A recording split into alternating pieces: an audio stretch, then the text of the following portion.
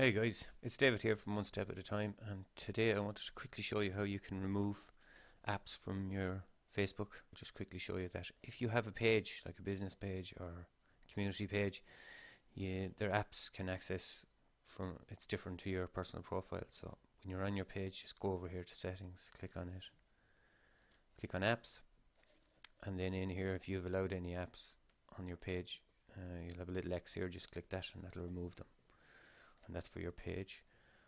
And then for your personal profile like if, if you've allowed access to YouTube or like me Map My Run or Instagram or one of those you just come over.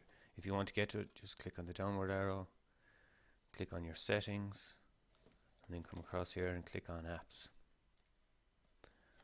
And you'll get this list here uh, of whatever apps you have and press the X and that'll remove them or you can edit the settings by clicking the little pencil so guys, I hope it helped you out. If it does, hit the like button, uh, subscribe if you like, and I will see you in the next one. Cheers, good luck.